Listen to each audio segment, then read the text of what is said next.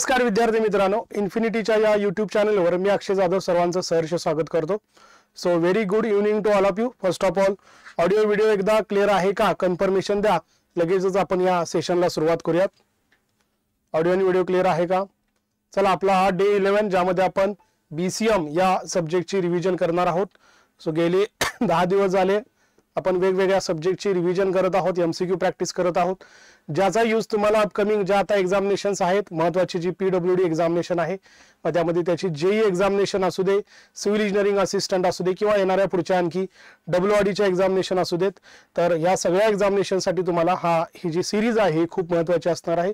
Day wise आपण एक एक एक एक सब्जेक्ट घेत आहोत.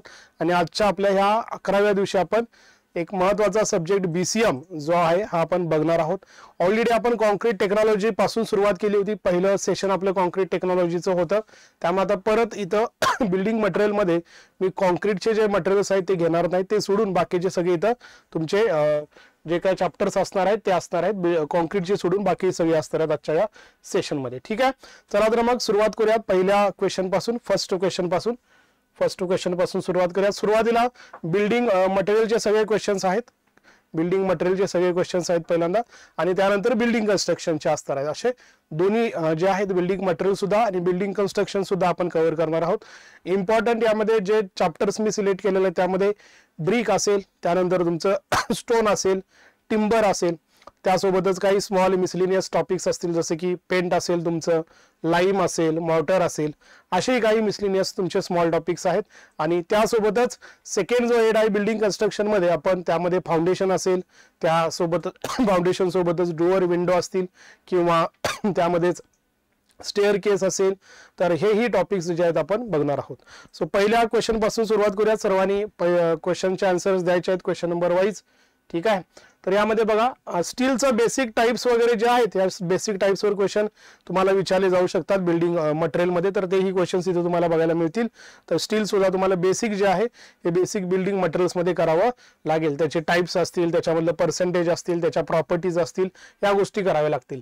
सो सगळ्यात पहिल्यांदा काय दिलेलं आहे बघा good brick when immersed in a water bath for twenty four hours should not absorb water more than so हा जो पॉईंट आहे ब्रिकच्या टेस्टिंगशी रिलेटेड आहेत. ब्रिक्सचं आपण जेव्हा टेस्टिंग करत असतो त्यावेळेला त्याची क्वालिटी चेक करण्यासाठी वेगवेगळ्या टेस्ट केल्या जातात. तर त्यामध्ये एक सगळ्यात महत्वाची जी असते तर ती असते वॉटर ॲब्झॉर्प्शन टेस्ट ज्यामध्ये सिम्पली ब्रिक्स जे आहेत ते आपण वॉटरमध्ये प्लेस केलेले असतात त्याचं पहिल्यांदा ड्राय वेट घेतलेलं असतं. त्यानंतर त्याचं वेट वेट घेतो आपण दोघांचा डिफरन्स घेतो. आणि या डिफरन्सवरून आपल्याला किती वॉटर क्वांटिटी जी आहे अब्झॉर्ब झालेली आहे ती समजते.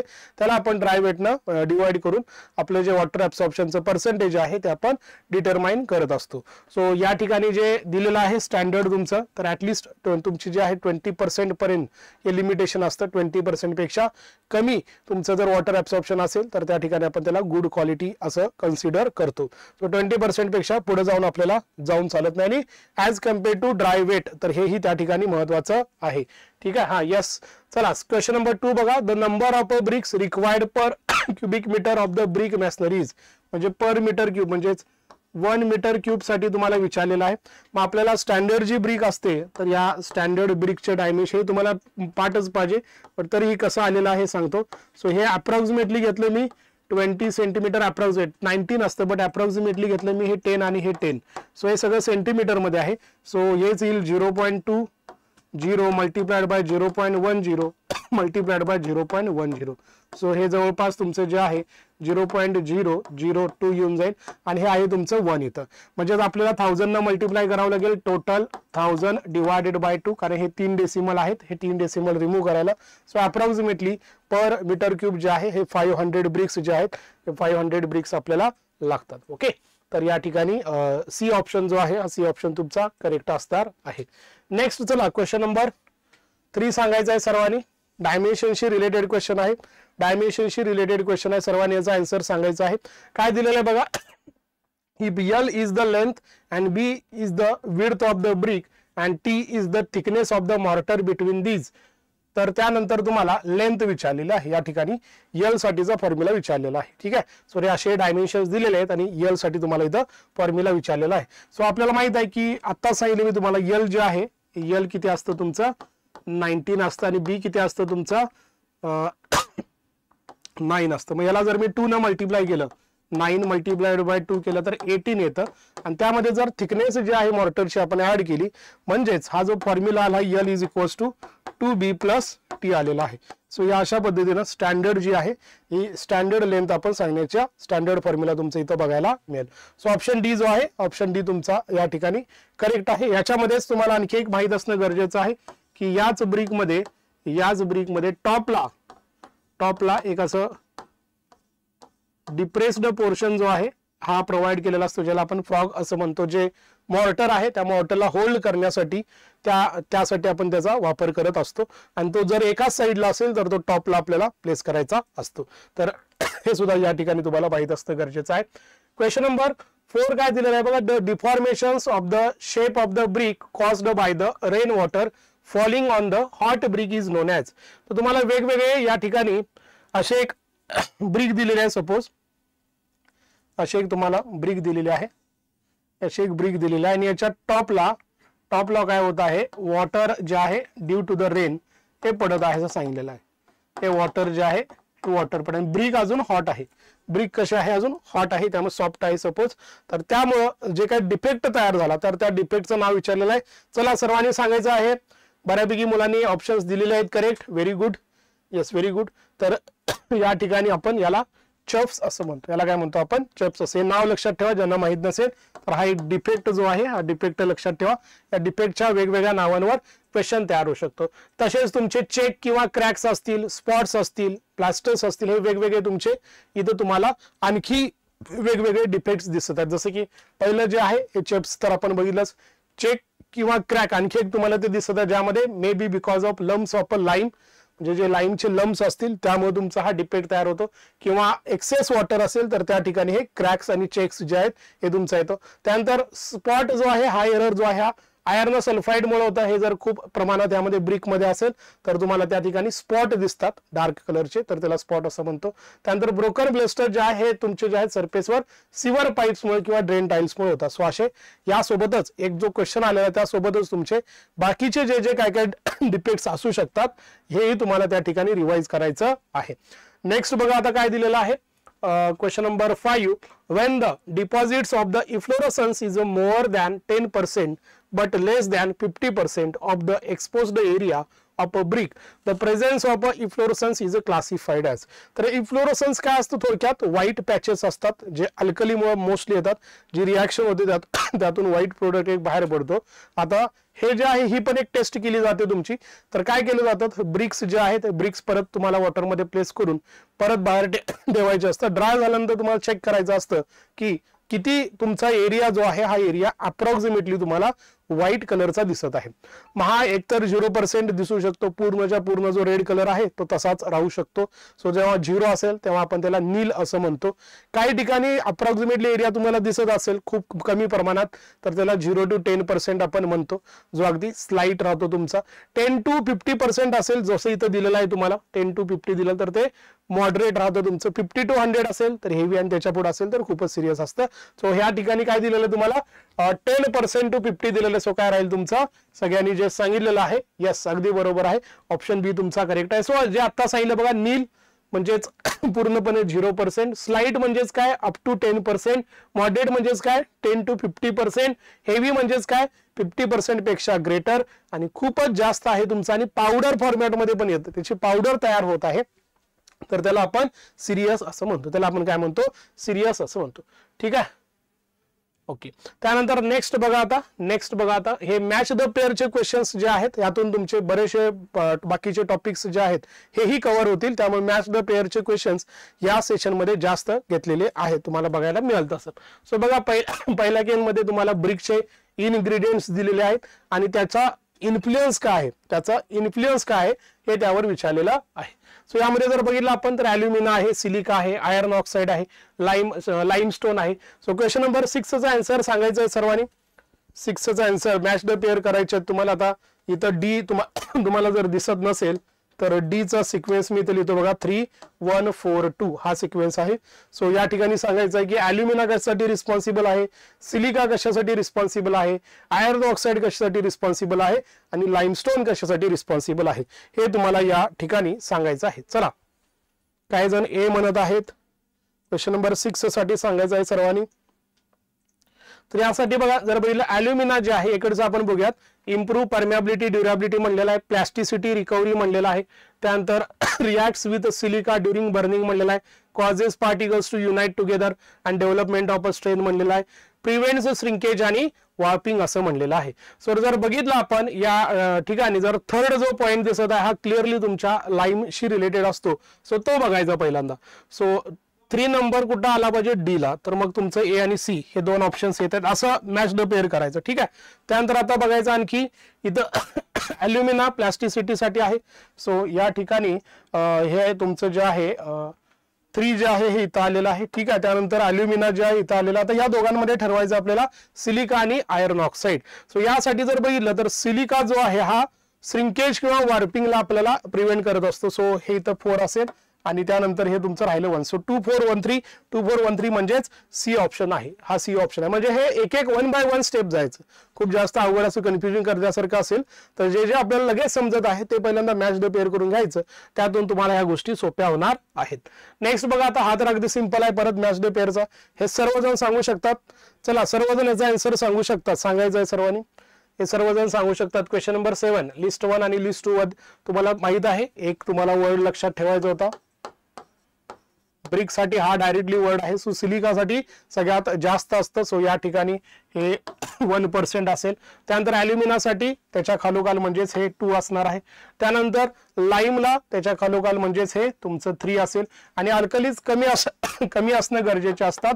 So one three two four one three two four one three two four म्हणजेच कुठला ऑप्शन दिसत आहे? बी ऑप्शन दिसत आहे. सो बऱ्याच जणांनी याचं मात्र आन्सर करेक्ट सांगितलेलं आहे. याचं मात्र आन्सर मगाचं मॅच द पेअर कुणाला सांगता आलं नव्हतं बट हे बऱ्यापैकी सर्वांनी करेक्ट सांगितलेलं आहे. क्वेश्चन नंबर एट बघा आता. ही तुम्हाला प्रोसिजर विचार जसं कॉन्क्रीटच्या प्रिपरेशनचं एक फ्लो असतो. कॉन्क्रीट तयार करण्यासाठी जो फ्लो असतो, जो बॅचिंग पासून तुमचं जवळपास सुरू होतं, ठीक आहे? बॅचिंग असेल मिक्सिंग असेल ट्रान्सपोर्टेशन प्लेसमेंट कॉम्पॅक्शन अशी जी पूर्ण प्रोसेस आहे सेम तशीच प्रोसेस तुमची कशाची असते? ब्रिक तयार करण्याची असते. आता सगळ्यात पहिल्यांदा यामध्ये आपण काय करतो की आता हे अनस्वायलिंग ठीक आहे पूर्ण प्रोसेसच सांगतो मी तुम्हाला. अनस्वायलिंग सगळ्यात पहिल्यांदा आपण करतो. अनस्वायलिंग म्हणजेच काय? जो तुमचा जी सरफेस ही टॉपची जी सरफेस असते त्याचा थोडा पार्ट त्याचा थोडा पार्ट जो आहे जिथून आपण सॉइल घेणार आहे क्ले घेणार आहे त्याचा थोडा पार्ट काय करतो आपण? रिमूव्ह करून टाकतो. कारण का? त्यामध्ये बऱ्याचशा इम्प्युरिटीज असतात. त्यामध्ये काय असतात बऱ्याचशा व्हेजिटेबलचे काही तुमचे पार्टिकल्स असू शकतात. ऑर्गॅन ऑर्गॅनिक काही तुमचे मिक्स असू शकतं. तर ते आपल्याला तिथून काय करायचं असतं? रिमूव्ह करायचं असतं. त्यानंतर जे काय आपल्याला ऍडिटिव्ह त्यामध्ये ऍड करायचे जसं की फ्लॅश तुम्ही ऍड करणार आहात सपोज तर ते काय करायचं असतं? ह्या रिमूव्ह केलेल्या पोर्शनमध्ये तुम्हाला स्प्रेड करायचं असतं. त्यालाच काय म्हणतो आपण? डिगिंग असं म्हणतो. आणि त्यानंतर हे तसंच वेदरिंग ऍक्शनसाठी मिक्सिंग होण्यासाठी त्याला तसंच तुम्हाला ठेवायचं असतं. जवळपास एक दोन महिने वेदरिंगसाठी ठेवायचं असतं. म्हणून त्याला वेदरिंग असं म्हणतो आपण. ते झाले की मग त्यामध्ये थोडंसं वॉटर ऍड करून आपण काय करतो? त्याचं ब्लेंडिंग करतो. ते मटेरियल ब्लेंड करतो सगळं. मटेरियल काय करतो आपण? ते ब्लेंड करून घेतो.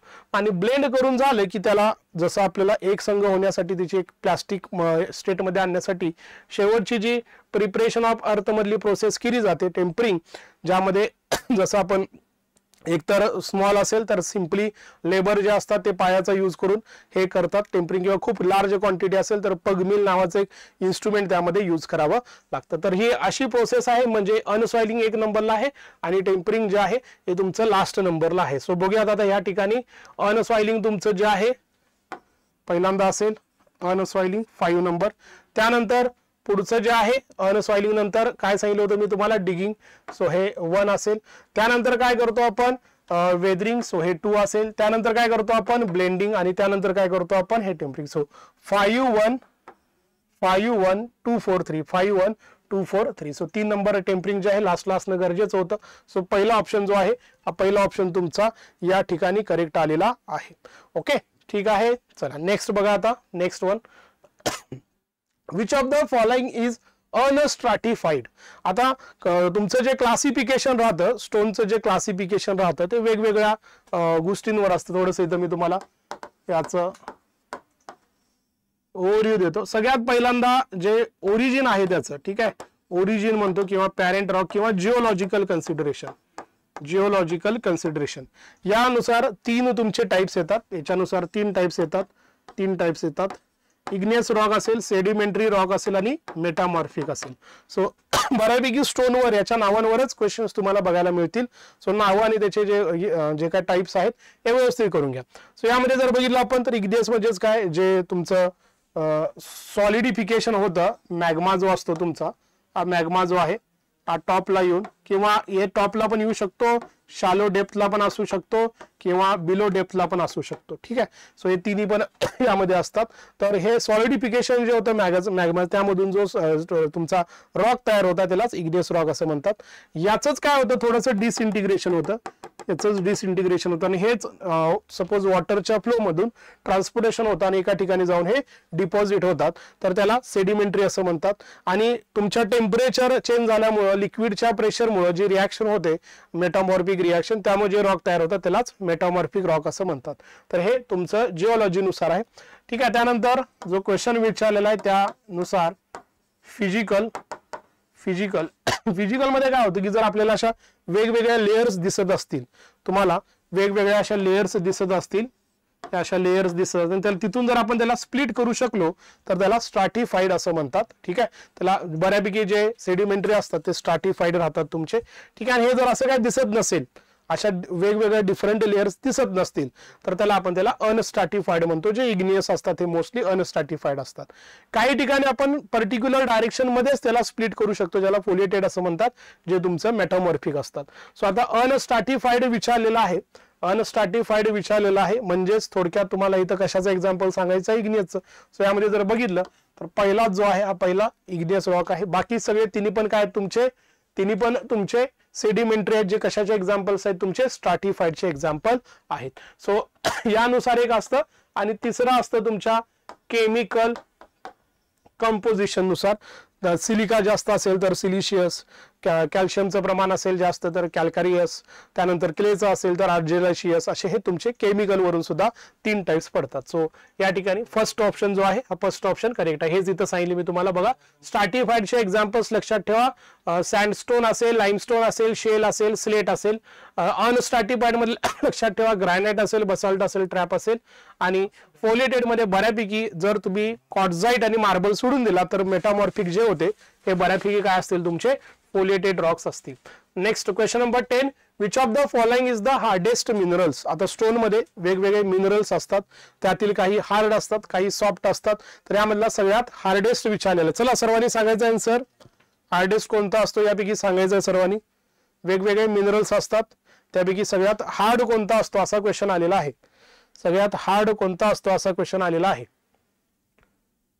ठीक आहे तर यामध्ये लक्षात ठेवा हार्ड जो आहे गार्नेट जो आहे हा सगळ्यात तुमचा हार्ड टाईपचा मिनरल आहे. ही लिस्टमध्ये सगळ्यात एक नंबरला हा असेल. आणि सेम तसंच सॉफ्टेस्ट सॉफ्टेस्ट विचार. सॉफ्ट कोण असेल यापैकी सगळ्यात? सॉफ्ट विचारलेला. हा यस ज्यांनी सी आन्सर दिलं ते करेक्ट आहे बघा. ए नाही करेक्ट लक्षात ठेवा. आता यामध्ये जर बघितलं आपण तर सॉफ्ट कोणता असेल? चला सॉफ्ट मात्र लगेच लगेच सांगता येईल सर्वांना. सॉफ्ट मात्र लगेच सांगता येईल सर्वांना. सॉफ्टमध्ये कुठला राहतो तुमचा? हा जिप्सम राहतो. कुठला राहतो तुमचा? हा जिप्सम जो आहे सॉफ्ट राहतो. ठीक आहे? ओके मिनरल विचारलेले आहेत. मटेरियल म्हणलं असतं तर डायमंड तुमचा सगळ्या झाला असतं. ठीक आहे? मिनरल इथं विचारलेलं आहे तुम्हाला. Next which of the following stone has the maximum percentage water absorption by volume चला सांगा वॉटरमध्ये काय परमिशन असतं? कितीपर्यंत पर्सेंटेज असतं? हे सांगा सगळ्यात पहिल्यांदा मला. कितीपर्यंत जाऊ शकते? हे सांगा सगळ्यात पहिल्यांदा. हा क्वेश्चन नंबर ट्वेल्वमध्ये मला सांगा की तुमचं पर्सेंटेज ऑफ वॉटर ऍब्सॉर्प्शनचं जे आहे स्टोनचं हे किती पर्सेंटेज पर्यंत जाऊ शकतं? चला सांगायचं सर्वांनी. यस यस सांगा सर्वांनी. यस मी जो प्रश्न विचारलेला आहे तो पहिल्यांदा सांगा. मग आत्ताचा जो क्वेश्चन आहे त्याकडे जाऊयात आपण. हा यस काही जण फाईव्ह पर्सेंट म्हणत आहेत काही जण टेन पर्सेंट म्हणत आहेत. तर बघा हे असं राहतं. सँडस्टोन असेल तर टेन पर्सेंट पर्यंत तुमचं राहतं. लाईमस्टोन असेल तर टेन पर्सेंट पर्यंत राहील. ग्रा ग्रॅनाइट असेल तर वन पर्सेंट पर्यंत. ट्रॅप असेल तर सिक्स पर्सेंट पर्यंत. शेल असेल तर टेन पर्सेंट पर्यंत. त्यानंतर जेनियस जेनिसिस असेल तर वन पर्सेंट स्लेट असेल तर वन पर्सेंट आणि कॉडझाईट असेल तर थ्री पर्सेंट आता आपल्याला इथं टेन पर्सेंटचा जो ऑप्शन दिलेला आहे तर तो शेल दिलेला आहे इथं. मॅक्झिमम जो दिलेला आहे शेल आहे त्यासोबतच हे पण लक्षात ठेवा. त्यासोबतच दुसरे जे आहेत टेन पर्सेंट वाले सँडस्टोनला पण मॅक्झिमम आहे लाईमस्टोनला पण मॅक्झिमम आहे शेलला पण मॅक्झिमम आता इथं देताना तुम्हाला शेल दिलेला आहे. त्यामुळे मॅक्झिमम वाले लक्षात ठेवा. आणि मिनिमम वाले पण लक्षात ठेवा. ग्रॅनाईटला कमी आहे. इथं कमी आहे इथं कमी आहे. कमी असणारे आणि मॅक्झिमम असणारे यावरच जास्त क्वेश्चन्स तुम्हाला विचारले जातात. ठीक आहे? तर हे प्रॉपर्टी सगळ्या स्टोनच्या ज्या आहेत त्या अशा अशा गोष्टींवर तुम्हाला स्टोनवर जे आहे ते क्वेश्चन्स तयार होऊ शकतात. आता परत एकदा बघा which of the following pair is a correctly matched याचा आन्सर सांगायचा सर्वांनी. आता मगापासून तुम्हाला एक्झाम्पल्स दिलेले आहेत.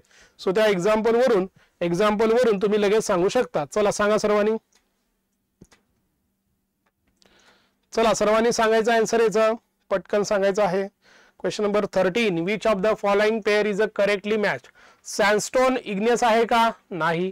शेल सेडिमेंटरी आहे का? आहे. सो काय करेक्टली मॅच साठी डायरेक्टली बी ऑप्शन आला तुमचा. ठीक आहे. सो बी ऑप्शन काय करावं लागेल मला इथं? सिलेक्ट करावं लागेल. बाकीचे दोन्ही सुद्धा परत चुकीचे दिलेले. सो बी जो आहे हा बीज तुमचा काय फक्त? या ठिकाणी करेक्टली मॅचड आहे. सो जे एक्झाम्पल मग सांगितले होते सेम तसंच. सेडिमेंटरी मध्ये हे सगळे तुमचे वेगवेगळे एक्झाम्पल्स यासोबतच तुम्हाला हेही एक्झाम्पल सगळे सेडिमेंटरीसाठी लक्षात ठेवायचे त्याचं परत तुमचं तीन क्लासिफिकेशन आहेत केमिकल डिपॉझिट ऑर्गोजेनियस डिपॉझिट्स आणि फ्रॅगमेंटल रॉक्स ठीक आहे? या डेप्थ पर्यंत आपण शिकलेलो आहोत. क्वेश्चन नंबर फोर्टीन बघा. लिस्ट आहे दोन तुमच्या आणि त्याचं परत तुम्हाला मॅच द पेअर जसं सांगितलं मी तुम्हाला या सेशनमध्ये शक्यतो मी मॅच द पेअरचा जास्त इथं क्वेश्चन आणलेले. जेणेकरून चार चार तुमच्या ज्या आहेत त्या चार चार प्रत्येक वर्षातून कन्सेप्ट ज्या आहेत त्या तुमच्या रिवाइज होऊन जातील. ठीक आहे? सो या ठिकाणी बघा. ओके चला सांगा सर्वांनी.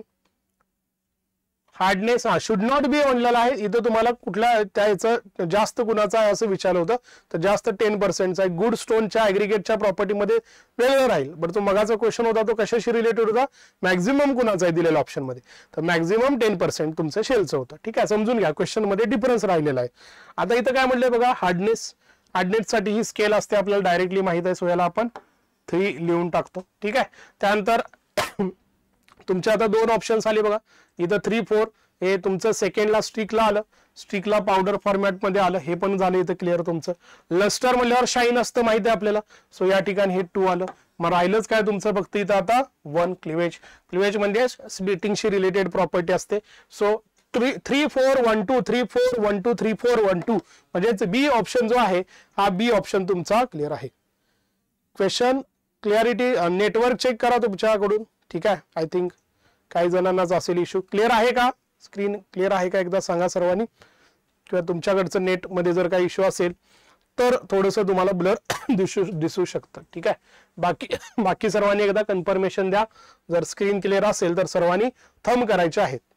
सर्वांनी धम करायचे आहेत स्क्रीन क्लिअर असेल तर क्लिअर आहे सर. येस मग ज्यांना प्रॉब्लेम येत आहे त्यांनी फक्त थोडंसं तुमचं नेटवर्क इश्यू चेक करा. नेक्स्ट बघा परत लिस्ट आहे तुमची. लिस्ट वन लिस्ट टू आणि मॅच द पेअर तुम्हाला करायचं आहे. सो या ठिकाणी बघा ऍब्सॉर्प्शन टेस्ट आहे ऍट्रिशन टेस्ट आहे आणि ब्रॅड्स टेस्ट आहे. अशा तीन टेस्ट इकडे दिलेले आहेत आणि तीन इकडे प्रॉपर्टी तुम्हाला दिलेली आहेत. सो ऍब्सॉर्प्शन टेस्ट माहिती आहे आपल्याला कशाशी रिलेटेड असते? ऍब्सॉर्प्शन वरून आपल्याला क्वालिटी समजते थोडक्यात. ठीक आहे आपल्याला काय समजते? क्वालिटी समजते. सो या ठिकाणी इथं थ्री असेल तुमचं. इथं थ्री असेल. त्यानंतर ऍट्रिशन टेस्ट माहिती आहे आपल्याला. ऍट्रिशन टेस्ट जी आहे ही तुमच्या अब्रेशनच्या साठी असते. हे आपण ऑलरेडी ऍग्रिगेटमध्ये सुद्धा बघतो. सो थ्री टू आहे. आणि ब्रॅड्स टेस्ट जी आहे ही फ्रॉस्ट ऍक्शनसाठी असते तुमची. So three two four so three two four म्हणजेच हा बी ऑप्शन जो आहे हा बी ऑप्शन तुमचा या ठिकाणी असणार आहे. सीए साठी सीए साठीचे क्वेश्चन्स आपण सेपरेट एका सेशनमध्ये घेणार आहोत. यातले तुम्हाला एक पन्नास ते साठ टक्के क्वेश्चन जे आहेत हे सीए साठी असतील महत्त्वाचे जे सिंपल दिसत आहेत ते. ठीक आहे? बाकी हे जे क्वेश्चन्स आहेत ते थोडस काही questions higher level depth level पर्यंत नेलेले आहेत जे जे e लेवलसाठी ठीक आहे? सीए साठी सुद्धा हा सेशन उपयुक्त राहील. बट असे क्वेश्चन्स नाही देणार. यातल्या एक एक टॉपिकवर सिंपल सिंपल क्वेश्चन्स तुम्हाला तयार होतील तिथे ठीक आहे? ओके नेक्स्ट बघा आता. परत या ठिकाणी मॅच द पेअरचा क्वेश्चन आहे. जर डी ऑप्शन तुम्हाला इथं दिसत नसेल तर इथं लिहितो मी. वन फोर टू थ्री हा डी ऑप्शन आहे. हा डी ऑप्शन आहे. ओके? बघा काय दिलेलं आहे? ग्रॅनाइट मार्बल चॉक आणि लेटराईट असे तुम्हाला ऑप्शन्स दिलेले आहेत. सो ग्रॅनाइट काय म्हणलं इथं बघा. आपल्याला माहीत आहे मार्बल जे आहे हे ऑर्नामेंटलसाठी मोस्टली असतं. चॉक जे आहे हे आपल्याला मॅन्युफॅक्चर म्हणजे इथं हे चार टाकलं आपण. इथं हे वन टाकलं. सो वन फोर असं असं आयडेंटिफाय करायचं. जास्त डोक्याला हे करून घ्यायचं नाही. हे पहिला एक एक लक्षात घ्यायचं. हे वन आहे फोर आहे वन फोर कुठं आहे तुमचं? सी मध्येच आहे. मग बाकीच लावून घ्यायचं. ग्रॅनाईटचं माहिती आहे आपल्याला. बलासपासून असेल तुमचं. म्हणजे से टू आहे. राहिलेलं काय आहे? लॅटराईट रफ स्टोन वर्कसाठी असणार आहे. ठीक आहे? असं लावायचं. जे आपल्याला माहीत आहे ना ते पहिल्यांदा तिथं मार्क करून घ्यायचं. त्यातून बऱ्यापैकी तुमचे मॅच द पेअरचे क्वेश्चन सॉल्व्ह होणार आहेत. सो या ठिकाणी सी जो ऑप्शन आहे हा सी तुमचा या ठिकाणी करेक्ट असेल. आता चला पुढच्या मटेरियल कड जो आहे टिंबर मटेरियल कड जो आहे चला सांगायचं सर्वांनी. How many days a timber may required for natural seasoning G slow process आहे जे नॅचरली आपण जे टिंबरचं जे सिझनिंग करतो सिझनिंग म्हणजेच काय? मॉइश्चर जे असतं त्यामधलं त्याला रिमूव्ह करण्याचा आपण त्या ठिकाणी ट्राय करत असतो. तर यासाठी जर आपण नॅचरल प्रोसेस वेगवेगळ्या प्रोसेस असतात ठीक आहे? त्यापैकी जर मी नॅचरल सिझनिंग वापरलं तर त्याला किती वेळ लागेल? चला सेव्हन्टीनचं क्वेश्चन सर्वांनी सांगायचं आहे. क्वेश्चन नंबर सेव्हन्टीन सर्वांनी सांगायचं आहे. हा यस पट पट पट सर्वांनी आन्सर द्यायचे आहेत फास्टमध्ये अगदी बरोबर आहे अगदी बरोबर आहे. चला ज्यांचे क्वेश्चन्स बरोबरात आहेत त्यांचा अभ्यास बऱ्यापैकी लेवलवर झालेला ज्यांचं नाही वाटत आहे सांगता येत नाहीये त्यांनी काय करा थोडस या गोष्टी समजून घ्या. लिहून घ्या तिथं ज्या गोष्टी नवीन वाटतात अशा. आणि त्या तुमच्या पुढच्या येणाऱ्या एक्झामिनेशनसाठी लक्षात ठेवा. Seasoning of a timber result in increase in the tendency to decay तर नाही. मग कशाला करायचं जर हे असेल? ड्रॉबॅक आहे हा. Increase in the tenden tendency to split हे पण नाही. Increase in a tendency to to warp हे पण नाही. द मॉइश्चरशी रिलेटेड असते. काय असतं? मॉइश्चरशी related so moisture present in a timber approximately same as that of the surrounding so surrounding सारखंच म्हणजे कमी करतो थोडक्यात आपण. डिक्रीज होतं मॉइश्चर कमी करत जे सराउंडिंगमध्ये आहे त्याच लेवलला आपण त्या ठिकाणी आणतो. सो डी ऑप्शन जो आहे हा डी ऑप्शन तुमचा करेक्ट आहे. ठीक आहे? Okay next question number nineteen question number nineteen हा यस सुरू असेल आदित्य मे बी इथं आपलं हे दुसरं सेशन सुरू आहे. ठीक आहे? परत एकदा हे दिसत नसेल लास्टचं इथं लिहितो बघा मी. One two four three hmm. चला सांगायचं आहे सर्वांनी. टिंबरच्या क्लासिफिकेशनशी रिलेटेड आहे हे क्वेश्चन तुमचा. टिंबरच्या क्लासिफिकेशन चा क्वेश्चन आहे. क्वेश्चन नंबर नाईन्टीन बघा हे दोन जे आहेत हे दोन तुमचे म्हणजे जे काय आपले एक्झोजिनियस असतात ठीक आहे ज्याची विडत वाढत असते ठीक आहे ही विडत वाढत असते. त्याचे हे टाईप्स आहेत परत दोन. म्हणजे एक असं वाढत विडत वाढत असताना अशी तुम्हाला वाईट दिसत आहे का अशी टीप दिसत आहे. त्यावरून हे परत दोन आहेत तुमचे. सो आणि हे दोन तर इंडोजिनियस आणि एक्झोजिनियस मेन आहेत तुमचे. ते टॉपला वाढत चाललेले आहेत हे ऑरिझॉन्टल सुद्धा वाढत चाललेले आहेत. सो यावरून हे क्लासिफिकेशन असतं. सो इंडोजेनियसचं एक्झाम्पल काय असेल हे? आणि हे काय असेल? तुमचं फोर थ्री कुठे येते बघायचं दोन ऑप्शनमध्ये येतं. त्यानंतर डिसिडियस एक आहे तुमचं आणि कन्फायर एक आहे. सो कन्फायरमध्ये आपल्याला अॅन्युअल रिंग सेपरेटली दिसत असतात आणि याच्यामध्ये मात्र दिसत नसतात. सो हे इथं राहील तुमचं two one so two one four three two one four three म्हणजेच कुठला ऑप्शन असेल तुमचा? हा सी ऑप्शन असेल. सो टिंबरच्या जे आहे हा यस सीए ला सुद्धा उपयोगी पडतील बट सीए साठी आणखी एक सेशन आपण सेपरेट घेणार आहोत. ठीक आहे? सीएचं पण सेपरेट आपण काल आजपासून सुरुवात केलेली आहे. हे तर उपयोगी पडतीलच आणखी थोडेसे त्या पॉईंट ऑफ व्ह्यू सीएच्या पॉईंट ऑफ व्ह्यू आणखी काही क्वेश्चन्स असू शकतात. तर त्याची ही सिरीज आपण आजपासून सुरू केलेली आहे. बघा परत मॅच द पेअर आहे तुम्हाला इथं. एकाच याच्यामधून क्वेश्चन तुम्हाला सॉल्व्ह होऊन जाईल. काही जास्त इथं डोकं लावायची गरज नाही. जे रिंग असतात तुमच्या ज्या रिंग असतात त्याचा वापर कशासाठी करतो आपण? एज समजण्यासाठी. त्याचा एज समजण्यासाठी. सो हे फोर आलं. मग फोर कुठं आहे बघायचं? एकाच ठिकाणी डायरेक्टली त्या ऑप्शनला सिलेक्ट करायचं. समजते हे अशी ट्रिक वापरायची आहे. ट्रिक वापराल तर मॅच द पेअरचे क्वेश्चन सॉल्व्ह होतील. आता त्याच्यासोबतच बघूयात पुढे काय असेल. हे काही तुम्हाला डिपेंड्स दिलेले आहेत. सो आता हे थ्री दिलेलं आहे. हे थ्री येणार तुमचं. हे वन येणार आणि हे टू येणार. समजून घ्या आता नॉट म्हणजेच काय दिलेलं आहे? Bases of the branches embedded in the stem of the tree तिथं हा डिफेक्ट तयार होतो तुमचा. शेक म्हणजेच काय दिलेलं आहे बघा तुम्हाला आता? Longitudinal separation between the annual rings दिलेलं आहे तुम्हाला. त्यानंतर रॉटमध्ये काय दिलेलं आहे? Disintegration caused by the fungi so हे अशी रिव्हिजन करायची आहे. अशा पद्धतीने तुम्हाला रिव्हिजन करायचे आहे. नाही अर्जुन ती वेगळी आहे. आपण वेगळे आहोत. ठीक आहे? ही आपली एकमेव स्वतःची अशी ब्रँच आहे जिथं तुम्ही बघत आहात. परत एकदा शेवटचे ऑप्शन दिसत नसतील डी ऑप्शन तर मी लिहित आहे बघा. काही जणांना दिसत नसतील तर. ओके नेक्स्ट बघा आता हे तुमच्या प्रॉपर्टीशी रिलेटेड आहे जे मगाशी तुम्ही विचारत होतात की स्टील आहे का सर तर स्टीलचं बेसिक तुम्हाला टाईप्स जे असतात क्लासिफिकेशन जे असतात ते विचारलं जाऊ शकतात आणि त्याच्या प्रॉपर्टी पण विचारल्या जाऊ शकतात. तर ह्या प्रॉपर्टीज आहेत तुमच्या. या तुमच्या सॉम या सब्जेक्टमध्ये पण असतील बेसिक जे आपण प्रॉपर्टी बघतो किंवा बिल्डिंग मटेरियलमध्ये स्टील या चॅप्टरमध्ये पण असतील. दोन्हीकडे सुद्धा हे असू शकतात.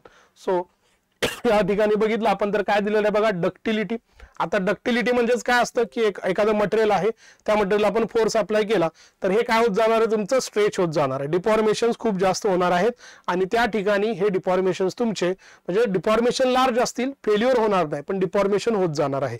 याला काय म्हणतो आपण? डक्टिलिटी असं म्हणतो. त्याच्या अपोजिट काय राहतं? ब्रिटलनेस ब्रिटलनेस मध्ये काय राहतं की तुमचं सडन फेल्युअर असतं. खूप कमी प्रमाणात मटेरियल स्ट्रेच होतं आणि लगेच फेल होऊन जातं. त्यानंतर टेनॅसिटी म्हणजे काय असतं? टेन्साईल स्ट्रेंथ ज्या मटेरियलची खूप जास्त आहे त्याला आपण हा वर्ड वापरतो. आणि टफनेस म्हणजेच काय? की जिथं इम्पॅक्ट लोडला तुमच्या एनर्जीला मटेरियल ऍब्झॉर्ब करू शकतं अशा याला काय म्हणतो आपण टफनेस असं म्हणतो. सो या ठिकाणी जर बघितलं तर डक्टिलिटी बघा इथं दिलेल्यापैकी पैकी great changes of a shape without rupture म्हणलेला आहे. सो इथं टू असेल. फेलियर विदाउट वॉर्निंग लगेच फेल होऊन गेलं सडर होऊन गेलं कॉन्क्रीट सारखं. बट ते आहे तुमचं ब्रिटलनेस टेनेसिटी म्हणजेच असेल तुमचं फोर आणि टफनेस जे राहिलं काय असणार आहे तुमचं absorption of energy at high without rupture so two one four three two one four three two one four three म्हणजेच हा जो डी ऑप्शन आहे हा डी ऑप्शन तुमचा करेक्ट आलेला आहे. आदित्य तुम्ही नक्की कुठलं बघत आहात? ते एकदा बघा. ठीक आहे?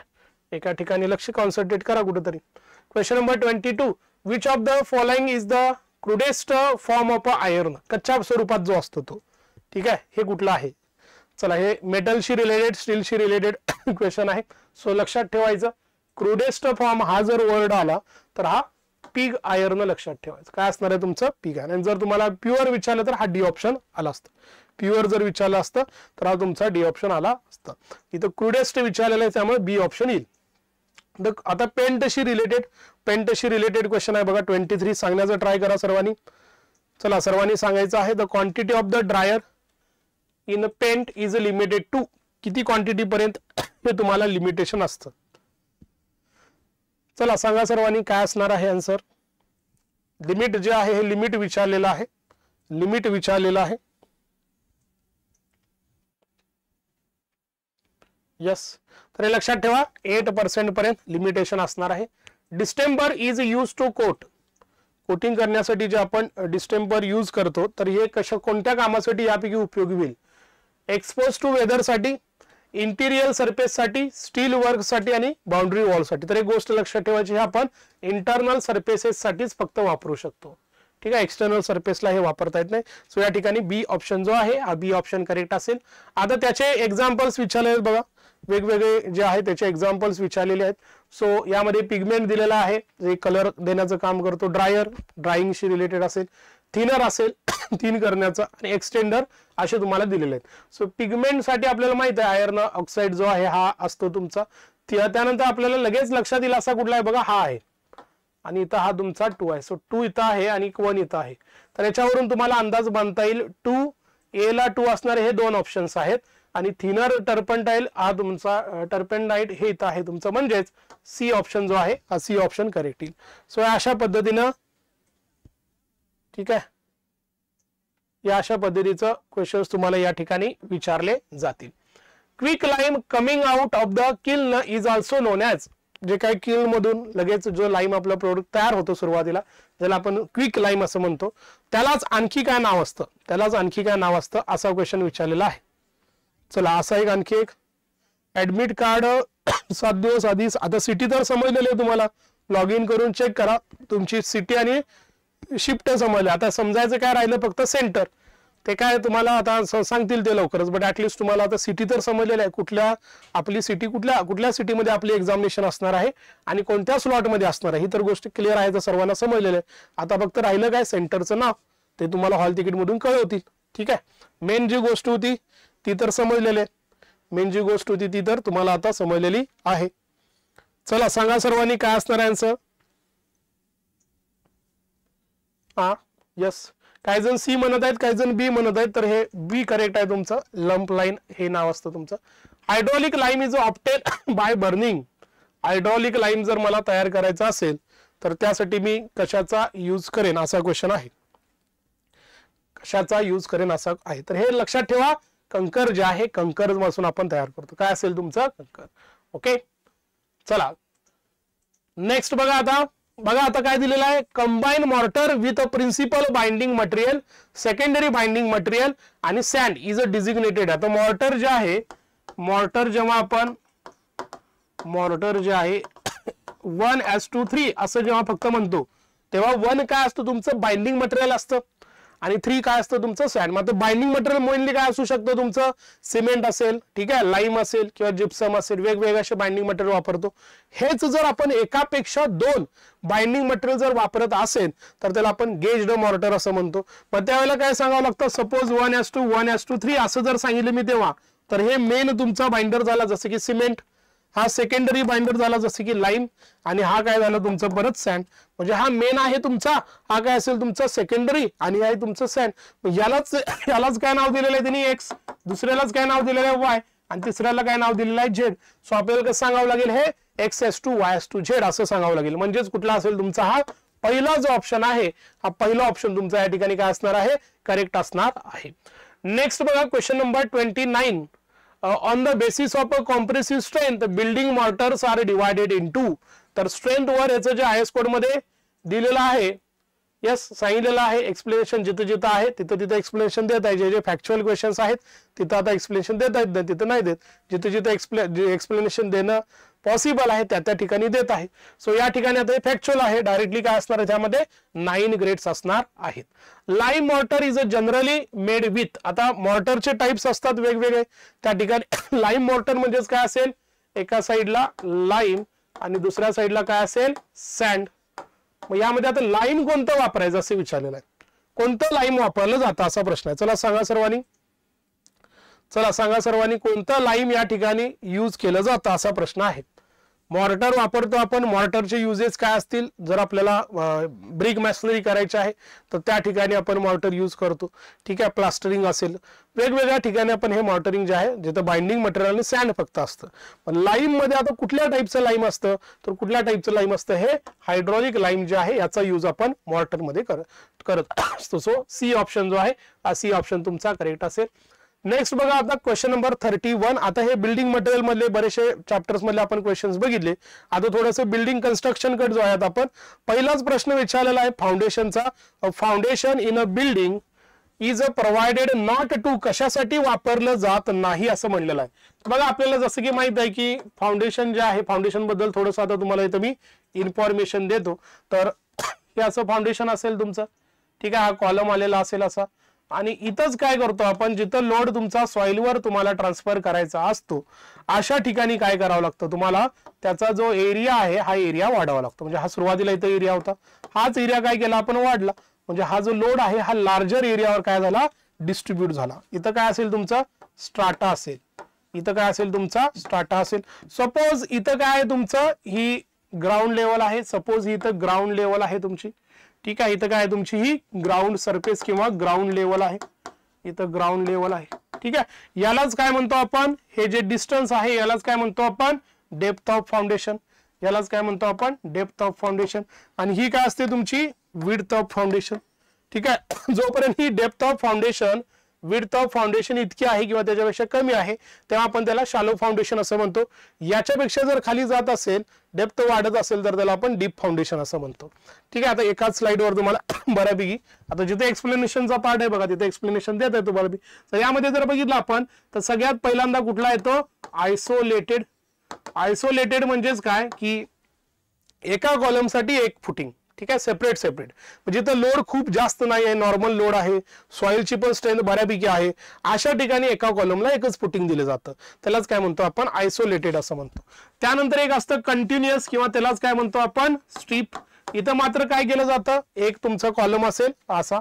किंवा तुमचा सपोज एक वॉल आहे आणि ह्या एका वॉलला कंटिन्युअस फुटिंग जे आहे कंटिन्युअस फुटिंग प्रोव्हाइड केलं जातं. ठीक आहे? वॉल बेरिंग स्ट्रक्चर असेल किंवा कॉलम जवळ जवळ असतील तर अशा ठिकाणी हे स्ट्रीप फुटिंग यूज केलं जातं. त्यानंतर एक असतं तुमचं स्ट्रॅप आणि एक असतं तुमचं कंबाईन हे दोन्ही पण कधी वापरतो आपण? जर एखादा कॉलम तुमच्या बाउंड्री लाईनवर येत आहे. कॉलम कुठे येत आहे? बाउंड्री लाईनवर येत आहे. चडपीचे हॉल तिकीट तुमचे सात दिवस आधी येतील. आता एक्झाम तुम्हाला डेट दिलेली आहे. तेवीस काय तेवीस चोवीसच्या आसपास आहे. तर त्याच्या सात दिवस आधी हॉल तिकीट तुम्हाला येईल.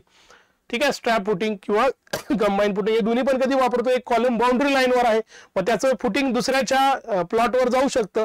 मग तो तसं देऊ देईल का नाही होऊ देणार. मग काय करावं लागतं आपल्याला? तो जे आहे ते लिमिटेड फाउंडेशन एक्सटर्नल कॉलमचं जे आहे प्रोव्हाइड करून जसं की हे असं बघा. हे असं प्रोव्हाइड केलं जातं. मग हे सपोज एक्सटर्नल आहे तर हे असं कॉलम प्रोव्हाइड केला जातो. इथं प्रॉब्लेम काय होईल की येणारा लोड आहे त्याची जी ऍक्सिस आहे आणि कॉलमचा जे काय तुमच्या फुटिंगचा पूर्ण सीजी जो आहे हा तुमचा लोड इथं ह्या लाईन या लाईनवर येईल आणि सीजी इथं येईल. इसेंट्रिसिटी तयार झाली. यामुळे बेंडिंग तयार होतं आणि टेन्शन होऊ शकतं टेन्शन जनरेट होऊ शकतं. सो हे अवॉइड करण्यासाठी काय केलं जातं? याच फुटिंगला इंटरनल कॉलमच्या फुटिंगला कनेक्ट केलं जातं. एक आपण त्या ठिकाणी cantilever beam type structure use केला असेल एका बीमचा वापर केला असेल तर त्याला स्ट्रॅप असं म्हणायचं. पूर्णच्या पूर्ण दोन्ही फुटिंग कनेक्ट करून टाकले असतील तर त्याला काय म्हणायचं? कंबाईन असं म्हणायचं. कंबाईन मध्ये दोन येतील तुमचे कंबाईन मध्ये दोन कुठले येतील? एक रेक्टँगल एक येणार आहे आणि एक ट्रॅपोजायडल येणार आहे. ट्रॅपोजायडल कधी वापरतो आपण? एक्सटर्नल कॉलम हेवियर असेल तर त्या ठिकाणी आपण ट्रॅपोझायडल मग वापरतो. तर हे झालं तुमचं कंबाईन आणि स्ट्रॅप फुटिंग त्यानंतर सपोज सॉईल खूपच पुअर आहे आणि लोड खूप जास्त आहे. डिफरन्शियल सेटलमेंट येत आहेत. अशा ठिकाणी आपण काय करतो? मॅट किंवा राफ्ट राफ्ट किंवा मॅट हे वापरतो. सगळ्याच कॉलमला एकच फुटिंग सगळ्याच कॉलमला काय करतो आपण? एकच फुटिंग प्रोव्हाइड करतो. तर हे काय असतं तुमचं? राफ्ट फाउंडेशन असतं. हे से बेसिक तुमचे काय येतात? हे शालो फाउंडेशनचे टाइप्स येतात. यामध्येच खूपच आणखी हेवी लोड असेल आणि त्या ठिकाणी तुम्हाला कॉस्ट थोडी कमी कराय पूर्ण सगळ्याला नसेल वापरायचं तर स्टील सेक्शनचा यूज केला जातो ज्याला ग्रिलेज फाउंडेशन असं म्हणतात. त्यामध्ये आय सेक्शन आय मेंबर वापरून आपण लोड जो आहे हा लोड ट्रान्सफर करत असतो. डेप्थ वाढली तर डीप फाउंडेशन आहे तर डीपमध्ये हाईट वाढली तुमची डेप्थ ऑफ फाउंडेशन तर डीपमध्ये मग तुमचं मेजर काय असतं? पाईल फाउंडेशन असेल पिअर फाउंडेशन असेल किंवा वेल फाउंडेशन असतील. ठीक आहे ही नावं सुद्धा लक्षात ठेवायची आहेत. आता हे सगळं काय करतो आपण? Option which increase the bearing capacity of the soil हे कॉलम आपण फुटिंग प्रोव्हाइड केल्यामुळे सॉइलची बेरिंग कॅपॅसिटी वाढते असं पहिलं ऑप्शन दिलेलं आहे. सेकंड दिलेलं आहे लोड द बेरिंग सर्प surface at uniform rate loading जे आहे तुमचं जे काय रोड लोड तुमचा ट्रान्सफर होत आहे हा युनिफॉर्म रेटनं ट्रान्सफर व्हावा यासाठी सब सॉइलला distribute the load over the larger area large एरियावर तुम्हाला लोड ट्रान्सफर करायचा आहे आणि increase overall stability of the structure तर या ठिकाणी बघा या ठिकाणी या ठिकाणी जर बघितलं आपण, तर हा ऑप्शन करेक्ट आहे, हा ऑप्शन करेक्ट आहे, हा ऑप्शन बट सॉइलची बेरिंग कॅपॅसिटी वाढणार आहे का? लो बेरिंग कॅपॅसिटी आहे त्याची. बट आपण लार्जर एरियावर प्रोव्हाइड केल्यामुळे हे सेफली ट्रान्सफर होतं. बट इथं सॉइलची बेरिंग कॅपॅसिटी वाढणार नाही. त्यासाठी फाउंडेशन प्रोव्हाइड केलं जात नाही. सो पहिला ऑप्शन जो आहे, हा पहिला ऑप्शन करेक्ट असणार आहे. चला थर्टी टूचा आन्सर सांगायचा आहे सर्वांनी. चला, सांगा सर्वांनी. Yes, thank you.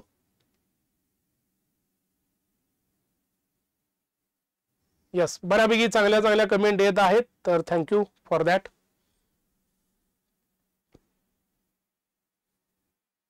सोळा डिसेंबरला सोळाला नाही ना सतराला होती म्हणून तर ती पुढे ढकलली एक्झाम सतराला आय थिंक एक्झाम होती ना तुमची एमपीएससीची म्हणून तर सीएची एक्झाम सतराची जी होत्या त्या अठ्ठावीसला नेल्या. ठीक आहे? त्यासाठी तर केलेलं आहे ते. आता बघा when the walls are subjected to heavy loading and the bearing capacity of the soil is a very low then the wall is a constructed on जसं सांगितलं मी तुम्हाला की वॉल जे आहे वॉल स्ट्रक्चर आता तुम्ही जे आपण लोड बेरिंग स्ट्रक्चर म्हणतो तशा टाईपचं आहे.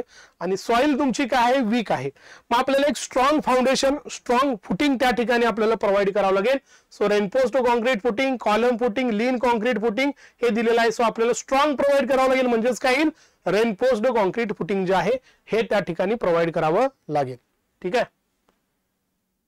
हा चालेल तुम्ही. जिओटेकचा पार्ट फाउंडेशनचा जो आहे हा केला तरी सीएचं बऱ्यापैकी तुमचा टाईप्स असतील सुटेबिलिटी असतील फाउंडेशनच्या तर हे कव्हर होऊन जातील. ठीक आहे? तर ते तुम्ही वाचू शकता. ठीक आहे?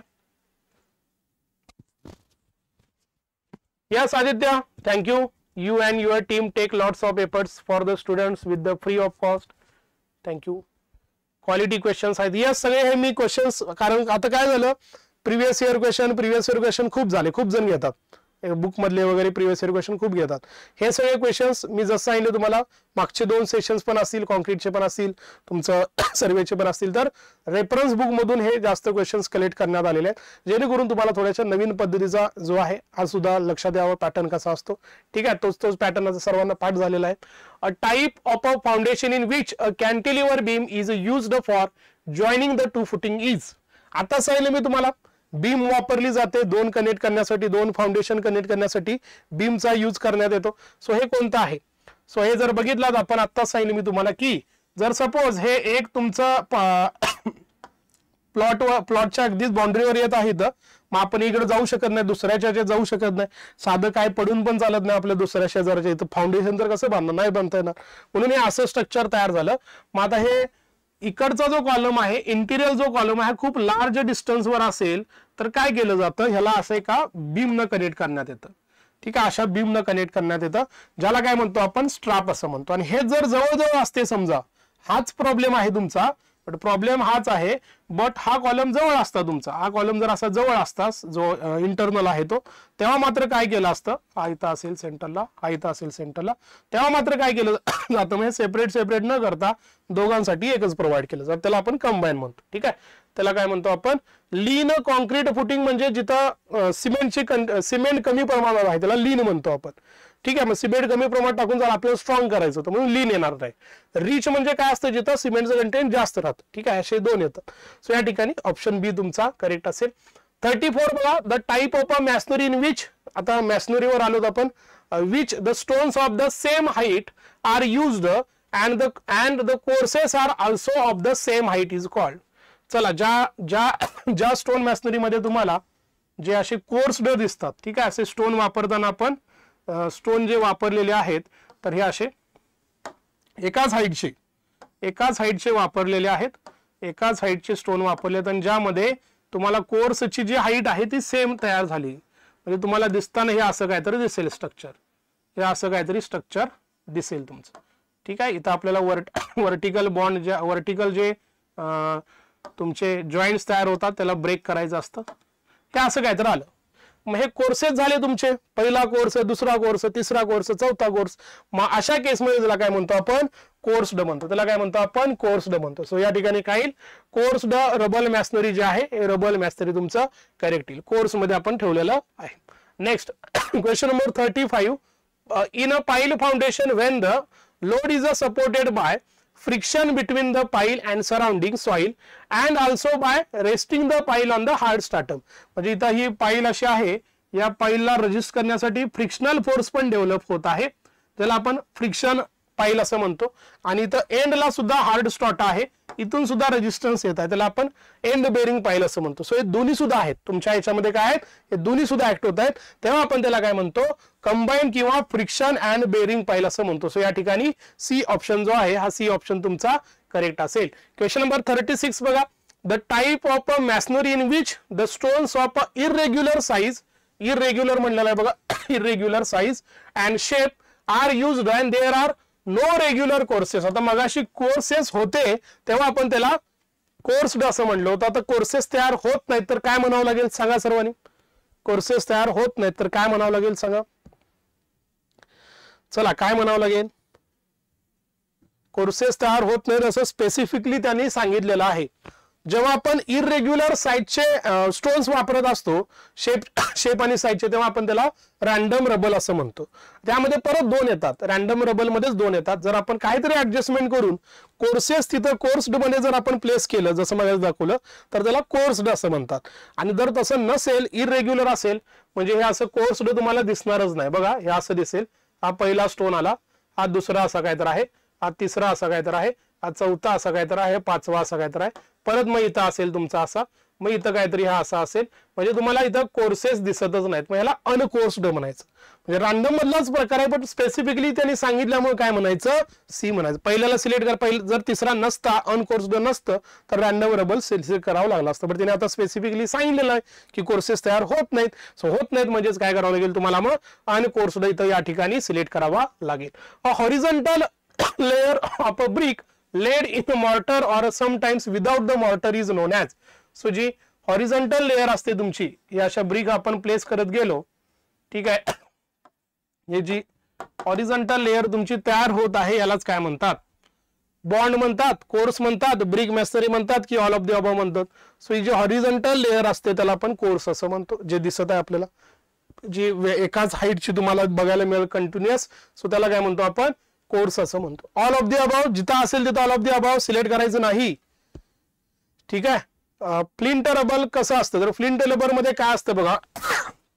हे असं मध्ये काय केलेले असतात? असे काही सेक्शन्स असतात तुमचे. ठीक आहे? व्हर्टिकल असतील तुमचे असे. किंवा हॉरिझॉन्टल असतील. जे फ्लिंट नावाचा जे स्टोन आहे तो वापरलेला असतो असा. आणि इथं सगळे परत इरेग्युलर असतात. इथं सगळे काय असतात? परत इरेग्युलर हे असे इरेग्युलर असतात. ठीक आहे याला फ्लिंट असं म्हणतात. फ्लिंटचे काही सेक्शन जे आहेत फ्लिंट स्टोनचे काही सेक्शन्स आहेत व्हर्टिकल आणि ऑरिझॉन्टल मिक्स केलेले असतात. ठीक आहे तर त्याला फ्लिंटरेबल असं म्हणतात. इथं इरेग्युलर इथं रेग्युलर इरेग्युलर इरेग्युलर इथं रेग्युलर इथं रेग्युलर ठीक आहे अशा पद्धतीचा तो असतो. त्यानंतर थर्टी एट बघा आता थर्टी एटमध्ये काय म्हणलेलं आहे? After every three or four stretchers one header is used in a brick masonry wall then the bond so formed will be called as चला सांगा सर्वांनी याचा आन्सर सोपा आहे.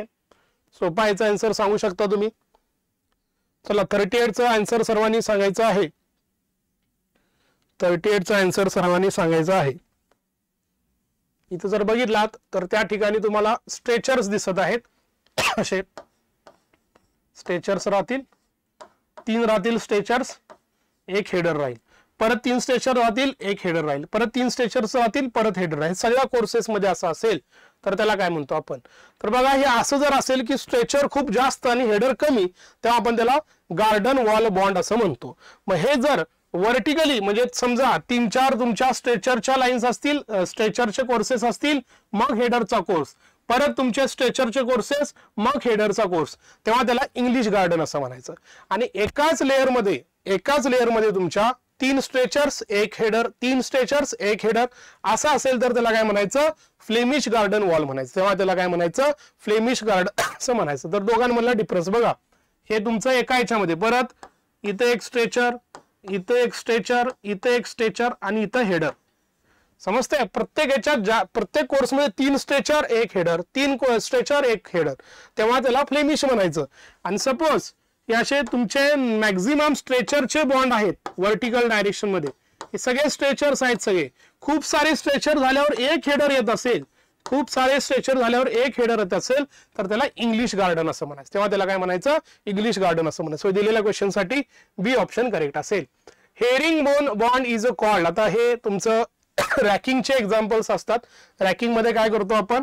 हे जे आहेत ब्रिक्स अशा एकतर सगळेच्या सगळेच एकाच लाईन मध्ये असे वापरतो आपण किंवा हे दोन डायरेक्शनमध्ये वापरतो आपण या असे या असे वापरतो आपण. ठीक आहे तेव्हा त्याला रॅकिंग असं म्हणतो आपण. त्यामध्ये हे वेगवेगळं डायगोनल असेल तुमचं हे हेरिंग बॉन्ड असेल किंवा आणखी एक याच्यासारखाच असतो झिगझॅग तर हे सगळे कुठं वापरतो आपण? मोस्टली जिथं थिकनेस खूप जास्त असते तुमची अशा ठिकाणी आपण हे वापरत असतो. हे पहिलं मेन फॅक्टर तुमचं. कुठला? रॅकिंगचा ठीक आहे? त्यामध्ये वेगळे दोन दोन तीन टाईप्स येतात. मग त्याचाच सब ॲडव्हान्टेज काय असतात की त्याचा वापर आपण ऑर्नामेंटल म्हणून पॅनल म्हणून करू शकतो. डेकोरेटिव्ह पर्पजसाठी आर्किटेक्चर फिनिश म्हणून सुद्धा करू शकतो. मेन काय तुमचं? थिकनेस मोर हे लक्षात ठेवा. थिकनेस बोर याचा सब आणखी एक असतो आपलं जे पेवमेंट म्हणजे आपण करतो पेविंग ब्लॉक्स जे असतात तिथं ही आपण वापरू शकतो. ठीक आहे? पण मेन काय असतं तुमचं या ठिकाणी? थिकनेस मोर असेल तर. सो या ठिकाणी डी ऑप्शन जो आहे डी ऑप्शन तुमचं या ठिकाणी करेक्ट असणार आहे. चला फोर्टीचा आन्सर सांगा. चला विच बॉन्ड इंग्लिश बॉन्ड सगळ्यात जास्त असते. ठीक आहे? हेरिंग बॉन्ड समजलं का? स्नेहा सांगितलं मी तुम्हाला. हे असं राहील तुमचं. एकतर सगळेच हे असे डायगोनल्समध्ये राहतील. ठीक आहे इथं जसे दाखवलेले तसे किंवा दोन डायरेक्शनमध्ये असतील हे रिंग बॉन्ड झालं तुमचं. ओके डायग्राम तुमच्या इथं सगळ्या सांगितलेल्या आहेत. बघा ब्रिकचे जे बॉन्ड जे कन्फ्युजन होत आहे अगदी सोपं आहे. बघा ज्यामध्ये मेजर चार आहेत तुमचे. जर बघा सांगतो इथं तुम्हाला. सगळेच्या सगळे तुम्हाला दिसताना सगळ्याच कोर्समध्ये सगळ्याच कोर्समध्ये जर तुम्हाला स्ट्रेचर दिसत असेल सगळ्या ऑल कोर्सेसमध्ये तर त्याला आपण स्ट्रेचर बॉन्ड असं म्हणतो. सगळ्याच कोर्सेसमध्ये जर मला हा पार्ट दिसत ह्याला हेडर म्हणतात हेडर दिसत असेल तर आपण त्याला काय म्हणतो? हेडर बॉन्ड असं म्हणतो. अल्टरनेट कोर्सेसमध्ये इथं स्ट्रेचर आहे इथं स्ट्रेचर आहे आणि इथं हेडर दिसत आहे. इथं तुम्हाला एक स्ट्रेचर एक हेडर एक स्ट्रेचर एक हेडर दिसत आहे. तर तो इंग्लिश राहतो त्याची स्ट्रेंथ जास्त राहते. एकाच कोर्समध्ये तुम्हाला बघा हे झालं स्ट्रेचर हे झालं तुमचं हेडर हे झालं इंग्लिश आणि एकाच तुम्हाला कोर्समध्ये stretcher header stretcher header stretcher header दिसत असेल तर त्याला आपण म्हणतो फ्लेमिश हे तुमचे मेन चार आहेत. ठीक आहे? यामध्ये मेन चार आहेत. इंग्लिश बॉन्ड मध्येच काही मॉडिफिकेशन केले जातात. जो सुरुवातीचा पोर्शन आपण इथं हे ब्रेक बॉन्ड करायला जे म्हणजे काय तुमचा वर्टिकल कंटिन्युअस जे तयार होत होतं तुमचा जॉईंट त्याला बॉन्ड त्याला ब्रेक करण्यासाठी काही मटेरियल्स आपण त्या ठिकाणी क्लोजर वापरत असतो. त्याच्याऐवजी जर दुसरे काही आपण मटेरियल वापरले तर तुमचा मग त्यामध्ये English cross bond Dutch bond असे दोन तुमचे मॉडिफिकेशन तयार होतात. त्यानंतर आता जे सांगितलं मी रॅकिंगचा तर त्यामध्ये डायगोनल प्लेस केले असतील एकच डायगोनल असेल तर डायगोनल दोन्ही डायरेक्शनमध्ये असेल तर तुमचं हेरिंग बॉन्ड असतं. जर तुम्ही काय करत आहात की जसं सांगितले मी सगळे स्ट्रेचर स्ट्रेचर स्ट्रेचर एकच हेडर टाकला. स्ट्रेचर स्ट्रेचर स्ट्रेचर एक हेडर टाकला. तर त्याला आपण इंग्लिश गार्डर असं म्हणतो. सेम तसंच स्ट्रेचर स्ट्रेचर स्ट्रेचर एक हेडर स्ट्रेचर स्ट्रेचर स्ट्रेचर एक हेडर तर त्याला आपण फ्लेमिश गार्डन बॉर्ड असं म्हणतो. सो हे मेन आहे तुमचे सात ते आठ हे व्यवस्थित लक्षात ठेवायचे आहेत. ठीक आहे? हा येस फ्लेमिसचं मेन आर्किटेक्चर व्ह्यू साठी अपिरियन्ससाठी फ्लेमिसचा जास्त वापर करतो आपण. आणि स्ट्रेंथ पाहिजे असेल तर इंग्लिश बॉन्डचा जास्तीत जास्त वापर केला जातो. त्यानंतर नेक्स्ट बघा आता forty one the operation of a finishing mortar joints after completion of the masonry wall is called तुम्ही जेव्हा मॅशनरी वॉल पूर्ण होतं त्याला जे मॉर्टर आहेत त्या मॉर्टरला जर तुम्ही फिनिशिंग करत असाल तर त्या स्टेपला काय म्हणतात? हा यस टाइप्स ऑफ बॉन्डवर एक क्वेश्चन फिक्स होतो. त्यामुळे तुम्हाला त्याच्याशी रिलेटेड सगळ्या गोष्टी इथं क्लिअर केलेल्या आहेत. तर टुटिंग असेल पॉइंटिंग असेल रॅकिंग बॅग असेल का जॉईंटिंग असेल? सर चला सांगा सर्वांनी. क्वेश्चन नंबर फोर्टी हा क्वेश्चन नंबर फोर्टी राहिला का? बघा the alignment of a cross joint along the plumb line so बघा हे असं तुमचं जेव्हा जॉईंट येतील तयार होतील ठीक आहे इथं एक जॉईंट आहे सपोज त्यानंतर इथं तुम्ही याला ब्रेक केलं आणि परत इथं एक तुमचा ऍज इट इज आलं. तर हे जे काय तुमचा जॉईंट आहे कंटिन्युअस ज्याला इमॅजिनरी जे जॉईंट तुमची व्हर्टिकल लाईन तयार होत आहे त्याला परपेंड असं म्हणतात. त्याला काय म्हणतात? परपेंड असं म्हणतात लक्षात ठेवा. कंटिन्युअस जे जॉईंटला क्रॉस जॉईन करणारी जी लाईन आहे ती. चला आता परत येऊयात फोर्टी ला. चला सांगा काय म्हणतो आपण याला? तर याला आपण पॉइंटिंग असं म्हणतो. याला काय म्हणतो आपण? पॉइंटिंग हे कधी करतो? जर तुम्ही फिनिशिंग वर्क करणार नसाल प्लास्टरिंग करणार नसाल तर तुम्ही जे ब्रिक वर्क केलेलं आहे तर ही अशी एक सपोज ही अशी एक ब्रिक आहे पहिली आणि ही अशी एक ब्रिक आहे दुसरी. आणि तुमचं मॉर्टर जे आहे सपोज इथंपर्यंतच आहे. इथं मॉर्टर इथं आहे. आणि हा फेस तसाच राहिलेला आहे. सो याला भरून काढण्यासाठी आपण पॉइंटिंग करतो. मग वेगवेगळे इथं स्ट्रक्चर वापरतो असे वी स्ट्रक्चर किंवा मग इकडून बाहेर आणतो त्याला आपण असं. वेगवेगळे असतात त्याचे ठीक आहे? तर त्याला पॉइंटिंग असं म्हणतात. त्याला काय म्हणतात? पॉइंट पॉइंटिंग जे आहे असं म्हणतो आपण. ठीक आहे तर या ठिकाणी बी ऑप्शन जो आहे बी ऑप्शन करेक्ट असेल. फोर्टी टू सांगा आता. The bricks having one or more आता हे बाकीचं काय होतं मग? हे टुथिंग असेल रॅकिंग बॅग होतं. तर काय करतात आपलं ब्रिकचं काम जेव्हा झालेलं असतं ठीक आहे जर मी इथं एंड केलं सपोज हे जर असं एंड केलं तर पुढचं काम करताना हे कंटिन्युअस जॉईंट तुमचा तयार होईल. म्हणून याला काय केलं जातं? थोडंसं काय केलं जातं? मधी मधी जे आहे हे असं प्रकारे बाहेर आणून ठेवलेलं असतं. त्याला टुटिंग असं म्हणतो. किंवा हेच आपण असं करतो. हेच असं करतो आपण.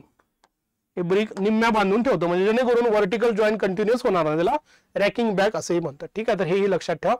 फोर्टी टू सांगा. तर bricks having one or two edges rounded for use in a slightly curved corners so काय केलेलं आहे? हे असं अशा पद्धतीने ह्याला राउंडेड एका साईडला किंवा दोन्ही साईडला याला काय म्हणतात? तर ह्याला बुल नोज असं म्हणतात. ठीक आहे? आणि दोन्ही साईडला असेल तर त्याला काऊ नोज असंही म्हणतात. ठीक आहे? तर हे लक्षात ठेवा. बुलनोज कुठं? जास्तीत जास्त जिथं तुम्हाला कॉर्नरला वगैरे हे जे आहे कॉर्नरला सफिशियंट असतं. निगेटिव्ह हा चाल सोडणं म्हणतात. अगदी बरोबर आहे. अगदी प्रॅक्टिकल लँग्वेजमध्ये चाल सोडणं असं म्हणतात. निगेटिव्ह तरी आतापर्यंत तरी काय आपल्याकडे अपडेट नाही. म्हणजे ऍडमध्ये तर नाही आहे त्यामुळे मोस्टली नसावं. तरीही तुम्ही इन्स्ट्रक्शन वाचा गेल्यानंतर पेपरच्या वेळेला. बट मोस्टली नसेलच.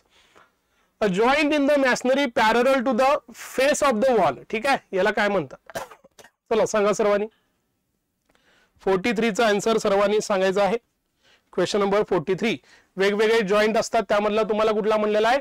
पॅरल टू द फेस विचारलेला आहे. Parallel parallel to the face विचारलेला आहे. चला सांगा सर्वांनी. फोर्टी थ्री जे आहे फोर्टी थ्रीचा आन्सर सांगायचा आहे सर्वांनी. Yes parallel parallel to the face जो आहे त्याला वॉल म्हणतात. ठीक आहे? त्याला काय म्हणतो आपण? वॉल असं म्हणतो. हा जो आहे याला बेड म्हणतात आणि हा जो असतो त्याला क्रॉस म्हणतात. सो पॅरल जो आहे त्याला वॉल जॉईंट असं म्हणतात. Next and ornamental moulded course placed on the top of the wall is known as ज्याचा उपयोग ऑर्नामेंटल दिसण्यासाठी फक्त आहे आणि कुठं आहे? तुमचं टॉप ऑफ दी वॉलला आहे. टॉप ऑफ दी वॉलला आहे. तर याला काय म्हणतात? चला सांगा. ऑर्नामेंटल हा वर्ड महत्त्वाचा आहे कारण दोन गोष्टी तर टॉपला असतात. पण त्यापैकी ऑर्नामेंटलसाठी कुठले असते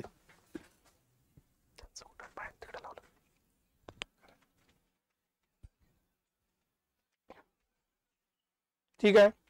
सी सीएचा नक्की आहे उद्या बघा चार वाजता आपला सीए साठी स्पेशल आहे. ज्यामध्ये सीएच्या पॉईंट ऑफ व्ह्यूनं हे तर आहेच हे तर उपयोगी आहेच तुम्हाला. आणखी ऍडिशनल प्रॅक्टिस सीएच्या पॉईंट ऑफ व्ह्यूनं आपण आजपासून सुरू केलेला आज अकराला सेशन एक झालेला आहे. उद्यापासून कंटिन्यू तीन दिवस परत पुढे रोज चार वाजता तो सेशन आहेच आपला. खास सीपीएस सीए साठी खास. चला सांगायचं आहे सर्वांनी. सर्वांनी फोर्टी फोरचा आन्सर सांगायचा आहे. फोर्टी फोरचा आन्सर सांगायचा आहे. बघा आता काही जणांनी डी म्हणलेलं आहे काही जणांनी ए म्हणलेला तर दोन्ही सुद्धा जसं सांगितलं मी तुम्हाला दोन्ही पण टॉपला राहतात. बट ज्याचा उपयोग सपोज पॅरापीट वॉल आहे अशी ठीक आहे पॅरापिट वॉलला टॉपचा पोर्शन जो आहे हा एक्सपोस्ड जो असतो तर तो अवॉइड करण्यासाठी हे कोपिंग असतं. आणि ज्याचा उपयोग ऑर्नामेंटल मोल्डेड असतं असं एक पूर्णपणे त्याला कॉर्नाईस असं म्हणतात. ठीक आहे? याला म्हणतो आपण कॉर्नाईस डी ऑप्शन दोन्ही मला डिफरन्स समजून घ्या. नेक्स्ट सांगा. Depth of depth of the rebate provided in the door frame should be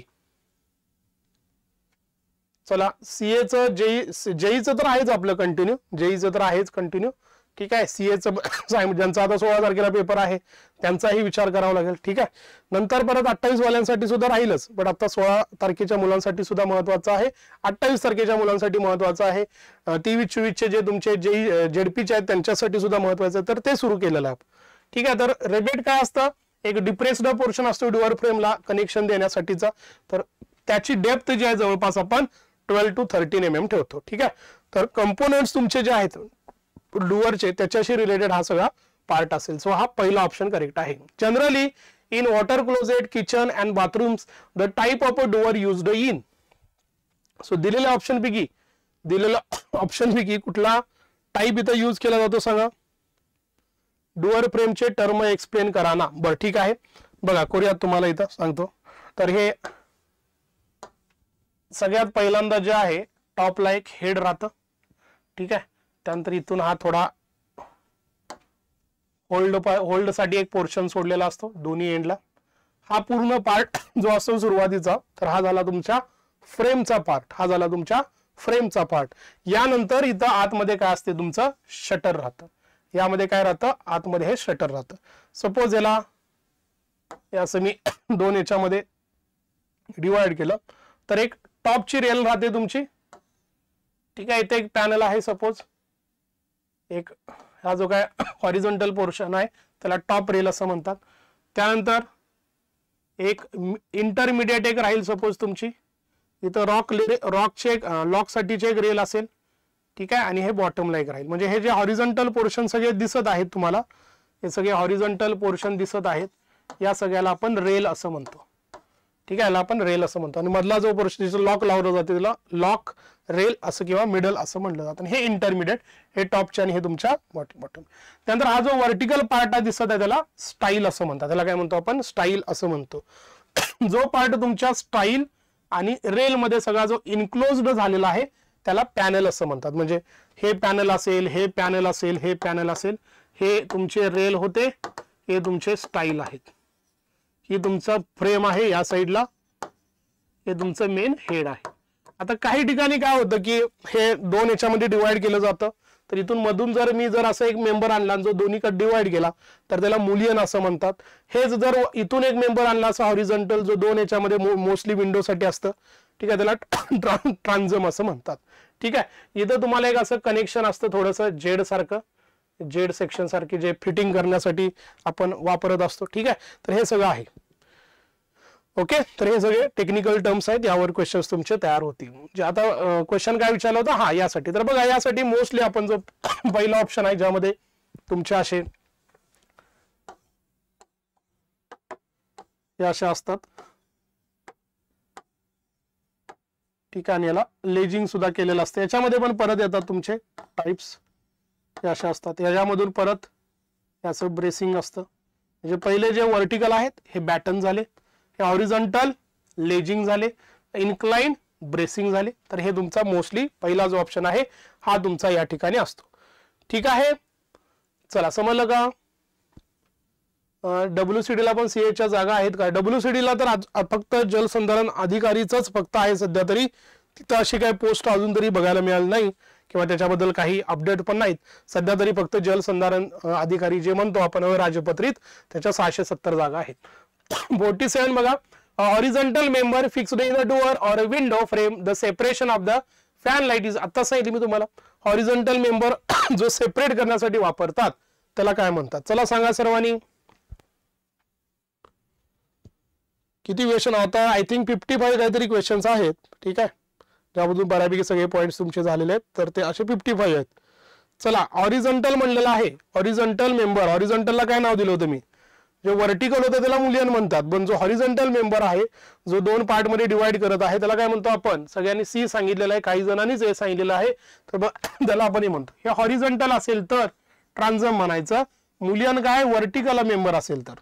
तर तेव्हा आपण मुली म्हणतो. काय असेल तुमचा? ऑप्शन ए करेक्ट असेल.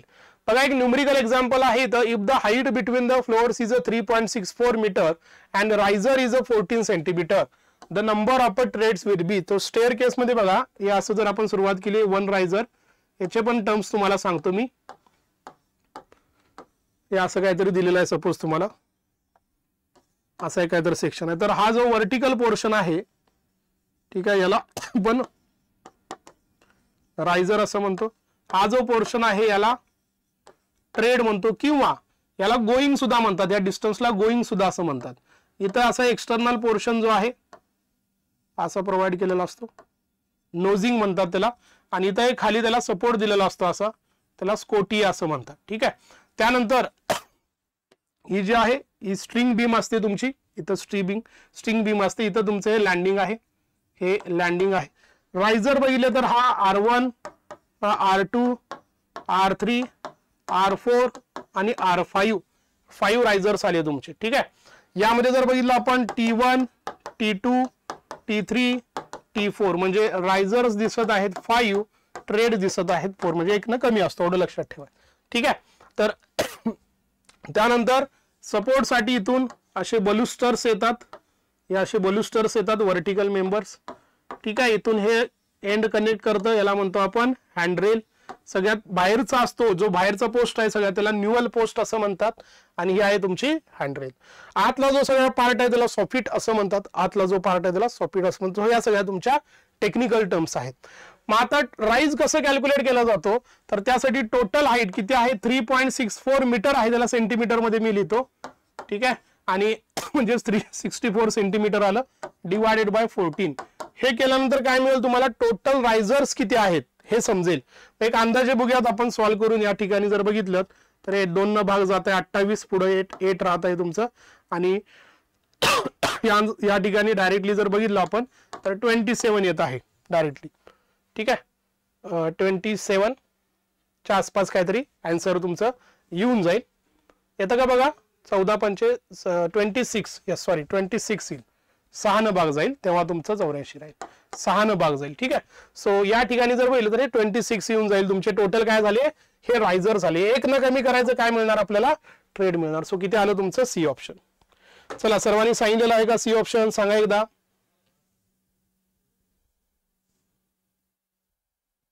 चला सांगायचं सर्वांनी?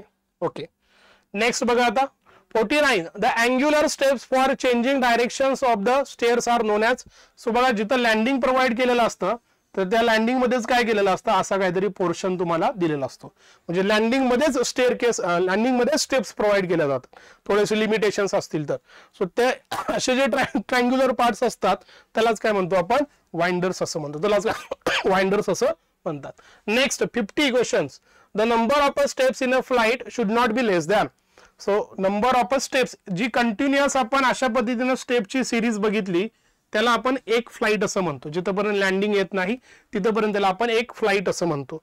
पण यामध्ये मिनिमम किती असल्या पाहिजेत? थ्री तरी असल्याच पाहिजेत. मॅक्झिमम किती असल्या पाहिजेत? ट्वेल्व पर्यंत. म्हणजे थ्री टू ट्वेल्व पर्यंतच हे बसवायचं असतं. ठीक आहे? सो या ठिकाणी बी ऑप्शन जो आहे हा बी ऑप्शन करेक्ट असेल. जर मी ट्रेडची आणि राईटची जर समेशन केली तर किती आन्सर आलं पाहिजे? सांगा सर्वांनी. चला सर्वांनी सांगायचा याचा आन्सर यस पुष्पा थँक्यू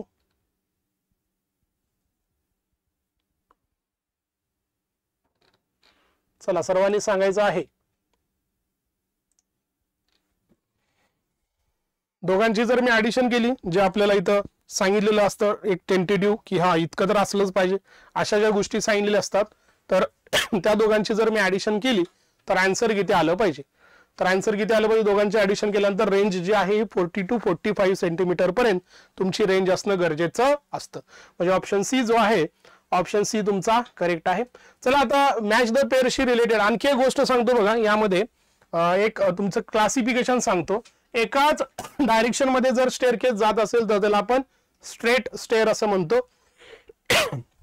जर एकदाच फक्त टर्न झालं फक्त एकदाच जर डायरेक्शन नाईन्टी डिग्रीनं टर्न झाली तर त्याला हाफ टर्न असं म्हणतात ठीक आहे? त्यानंतर क्वार्टर टर्न असं म्हणतात. त्यानंतर हे असं जर असेल वन एटीनं वन एटीन असेल सॉरी याला क्वार्टर म्हणतात आणि वन एटीन असेल तर त्याला हाफ टर्न किंवाच. याचा जो शेप आहे प्लॅनमध्ये हा डॉग लेग सारखा दिसतो. म्हणजेच याला हाफ टर्नलाच काय म्हणतात? डॉग लेग्ड असं म्हणतात.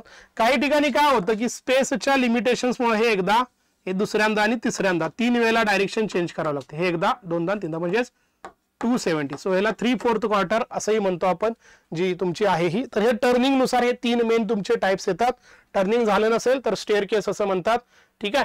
आणि जर तुम्ही इथं न्युअल पोस्ट जर प्रोव्हाइड केलेली असेल जी सुरुवातीला सांगितली ठीक आहे? तर त्याला न्युअल पोस्ट असा टाईप येतो. जर जर इथं तुम्ही जर स्पेस सोडलात इथं जर दोन याच्यामध्ये स्पेस सोडला तर त्याला ओपन परत पुढं जे काय असेल ते मकेचं. ओपन हाफ टर्न असं म्हणतात. आणि सपोज न्यूअल पोस्ट नसेल कंटिन्युअस जात असाल तुम्ही तर त्याला जिओमेट्रिकल किंवा कंटिन्युअस असं म्हणतात. काही ठिकाणी हे असंही असतं. इथून जाता तुम्ही इकडे पण जाता आणि इकडे पण जाता. Bye fur bifurcated staircase असंही म्हणतात जे पब्लिक बिल्डिंगमध्ये मोस्टली वापरलेली असते. चला आता नेक्स्ट बघा. परत एकदा मॅच द पेअर तुम्हाला सांगायचं आहे. खाली जर दिसत नसेल तर फोर वन टू थ्री हा डी ऑप्शन आहे. सो काय दिले बघा? कॉर्बेल दिलेला आहे ड्रीप दिलेला आहे गॅबल दिलेला आणि जाम दिलेला आहे. सो जाम जो आहे हा तुमचा जो काय डोअर आणि विंडोचे दोन साईड्स असतात ठीक आहे? दोन जे साईड्स असतात वर्टिकल मेंबर्स असतात त्याला आपण म्हणतो जाम सो याला पहिल्यांदा थ्री देऊन टाका. तुमचा आन्सर डायरेक्टली मिळून जाईल. बाकी काहीही मग विचार करायची गरज नाही. सो असे पॉईंट्स त्यातनं मॅच द पेअर मधून. हे असे पॉईंट्स उडकायचे आहेत की जिथून मला लगेच लक्षात येईल की काय आन्सर येऊ शकतं ठीक आहे? चला सांगा सर्वांनी. हा यस ओपन न्युअल चला सांगायचं आहे. ओपन थुम थम रूल विचारत काय विचारतात नक्की गणेश? ते डॉग डॉग लेडमध्ये जी काय हाईट दिलेली आहे त्याला दोन याच्यामध्ये डिवाइड केलं जातं. कारण दोन वेगवेगळ्या फ्लाईट आहेत. आणि मग रायझर प्रत्येक फ्लाईट मधला सेपरेट डिटरमाइन केला जातो. सेपरेट याच्यामधले ट्रेड्स डिटरमाइन करावं लागतात. मग अशी जे केलं आपण पूर्ण फ्लोअर टू फ्लोअरसाठी गेलं तसं डॉगलेटमध्ये करून चालत नाही. हा थम रूल तिथे युज केला जातो. सो हे जाम तीन नंबर कुठे आहे बघा? डी मध्येच आहे. सो हा ऑप्शन डी जो आहे हा करेक्ट येऊन जाईल. म्हणजेच कॉर्बल म्हणजेच काय असेल? One or more courses of a bricks projecting wall असेल. मग ड्रीप म्हणजे काय असेल? Part of the cornice or projecting sill असेल. गॅबल म्हणजे काय असेल? The entire end wall of the building असेल तर हे तुमचं यामधून क्लिअर होऊन जाईल. नेक्स्ट बघा आता थोडंसं दिसायला तुम्हाला होऊ शकतं. ऑप्शन्स दिसत नसतील. ठीक आहे काय हरकत नाही. डायरेक्टली हे सांगायचं कारण इथून तुमचे जे मगाशी बॉन्ड सांगितले ते बरेचसे क्लिअर होणार आहेत. Match the पेअरशी the bond containing bricks laid with the headers towards the face so हे हेडर बॉन्ड असतो जेव्हा आपल्याला फक्त हेडर्स दिसतात. The bond containing alternate courses of a stretchers and header तर हे इंग्लिश बॉन्डशी रिलेटेड असतं. सो टू थ्री असेल. The bond containing bricks laid with their length in the longitudinal direction म्हणजे स्ट्रेचर बॉन्ड असतो हा म्हणजे हे वन असेल. And the bond containing alternatively stretchers and headers in the each course प्रत्येक कोर्समध्ये तुम्हाला या ठिकाणी हेडर पण दिसत आहे स्ट्रेचर पण दिसत आहे. आता हे फ्लेमिश बॉन्ड म्हणतो पण आता तिने देताना डबल म्हणलं. डबल म्हणजे काय? बॅकिंगला सुद्धा आणि फेसिंगला सुद्धा फ्लेमिश बॉन्ड असेल तर त्याला डबल म्हणतो आपण. फेसिंगला फक्त फ्लेमिश आहे आणि बॅकिंगला इंग्लिश असेल तर त्याला सिंगल फ्लेमिश बॉन्ड असं म्हणतात. सो या ठिकाणी टू थ्री वन फोर आहे टू थ्री वन फोर आहे. म्हणजे पहिलाच ऑप्शन इथं करेक्ट आहे. दिसत नाहीत ऑप्शन बट हे लक्षात ठेवा. हे लक्षात ठेवायचं आहे टू थ्री वन फोर या ठिकाणी करेक्ट असेल. फिफ्टी फोर फाउंडेशनशी रिलेटेड मॅच द पेअर आहे. फाउंडेशनशी रिलेटेड बाय बायफर्गेटेड सांगितलं सचिन मी मगाशी. ठीक आहे? एकच तुमचं सुरुवातीला होतं असं. एक इकडे गेलेलं आहे एक इकडे गेलेलं आहे. ठीक आहे? पब्लिकच्या बिल्डिंगमध्ये एंट्रन्सला मोस्टली वापरलं जातं. आयसोलेटेड फुटिंग म्हणजे म्हणजे काय? एका कॉलमला एक फुटिंग जे कुठल्याही शेपचं असेल सर्कल असेल स्क्वेअर असेल रेक्टँग्युलर असेल. सो या ठिकाणी काय असेल हे? Four cantilever footing columns cantilever म्हणजेच काय सांगितलं होतं मी तुम्हाला? इसेंट्रिक फुटिंग होतं तुमचं ठीक आहे? यामधूनच आयसोलेटेड मधूनच तुमचं सी ऑप्शन येऊन गेलेलं आहे. काही गरज नाही पुढं. तर हे थ्री असेल हे टू असेल आणि हे वन असेल. सो कॅन्टिलिव्हर काय? इसेंट्रिक फुटिंग होतं. त्यामुळे तिथं आपण वापरलं होतं. त्यानंतर कंबाईन फुटिंग काय? टू किंवा जास्त एकापेक्षा दोन किंवा दोनपेक्षा जास्त एकत्र केलेले आहेत. कंटिन्युअस म्हणजेच काय? दोन किंवा त्याच्यापेक्षा जास्त कॉलम एकाच रो मध्ये आहे तर त्याला कंटिन्युअस किंवा स्ट्रीम स्ट्रीप पुटिंग असं म्हणतो. सो सी ऑप्शन या ठिकाणी करेक्ट असेल. आणि लास्ट क्वेश्चन सर्वांनी सांगायचं आहे. डुअरच्या टाईपवर आहे. डुअरच्या टाईपवर आहे. सर्वांनी याचा आन्सर सांगायचा आहे. डुअरचे जे टाईप्स आहेत त्याच्याशी रिलेटेड बघा काय म्हणलेलं आहे? पहिलं दिलंय रिव्हॉल्विंग डोअर्स कुठे वापरणार? स्लाइडिंग डोअर्स कुठे वापरणार? स्विंगिंग डोअर्स कुठे वापरणार आणि फोल्डिंग डोअर्स कुठे वापरणार?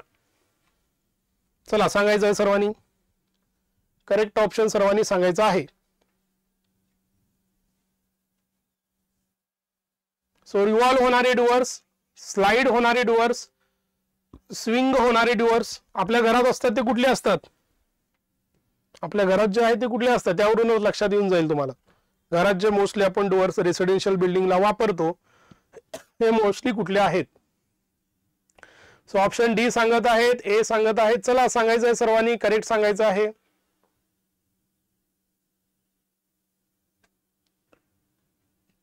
चला सर्वांनी काही जणांनी सी पण सांगितलेलं आहे.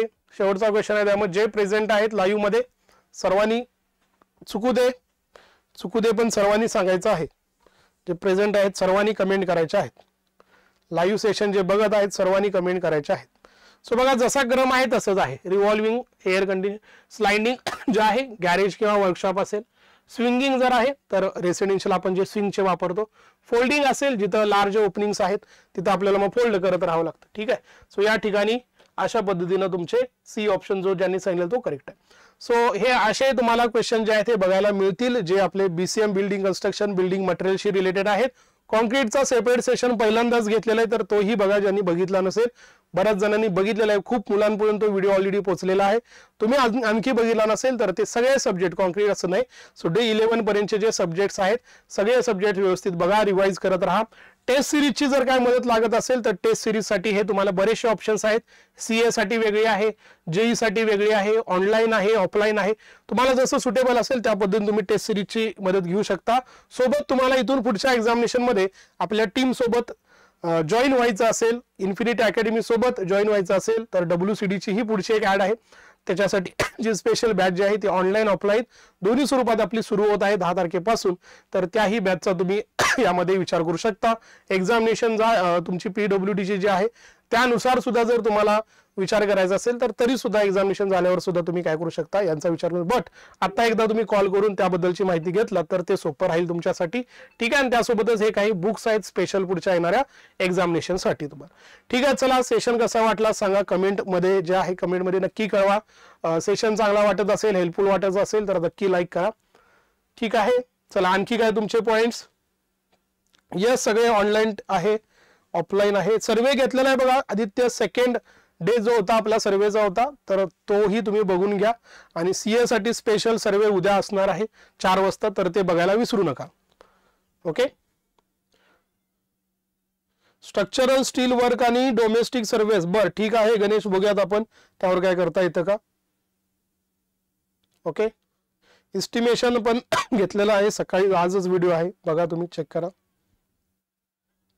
ओके तर यस या लेवलचेच क्वेश्चन्स येतील तुम्हाला अशा टाईपचेच क्वेश्चन्स येतील. दोन दोन ऑप्शन राहू शकतात. त्यात दोन ऑप्शन सोडून दुसरा कुठला येणार नाही. एक तर इझी टू मॉडरेट राहील. म्हणजे इझी क्वेश्चनचं प्रमाण जास्त राहील. इझी टू मॉडरेट किंवा मॉडरेट टू डिफिकल्ट डिफिकल्टचे क्वेश्चन सुद्धा डब्ल्यू आर डीला जसे होते जेईचीच पोस्ट होती तिथे जसं थोड्या प्रमाणात डिफिकल्टचं प्रमाण वाढवलं होतं तसंही असू शकतं. असं नाही होणार की झडपी खूप इझी होती म्हणून ही पण इझीच येईल. डिपेंड आहे ते एक्झाम टू एक्झाम बदल. आता पण एक एक्झामिनेशन होत आहे तुमची पनवेल महानगरपालिकेची. तिथलेही रिव्ह्यू समजतील आपल्या ठीक आहे? त्यामुळे असं आपण आत्ता सांगू शकत नाही की इझीच राहील का डिफिकल्ट राहील तर ते त्या दिवशीच समजेल आपल्याला ठीक आहे? ओके ठीक आहे तर मग? इंजिनिअरिंग ड्रॉइंगबद्दल सीए साठी अजून कन्फर्मेशन नाही बट तुम्हाला बघायचं असेल तर आपल्या चॅनलवर व्हिडिओ अवेलेबल आहे. इंजिनिअरिंग ग्राफिक्स टीपीए म्हणून सर्च करा. तुम्हाला सेशन मिळून जाईल. सेम तसंच कॅड टी पी ए म्हणून सर्च करा. CAD T P A infinity engineering graphics T P A infinity. तुम्हाला दोन्ही व्हिडिओ मिळून जातील. ठीक आहे? चला तर मग यस अपकमिंग डेजमध्ये बरेचसे सेशन प्लॅन केलेले आहे त्यावर नक्की आपल्या चॅनलला कनेक्टेड राहा. सबस्क्राईब करा आणि रिव्हिजन करत राहा. महत्वाची गोष्ट आहे सगळ्यात महत्वाची म्हणजे रिव्हिजन जे आहे रिव्हिजन सुरू ठेवा. ओके चला. Thank you all the best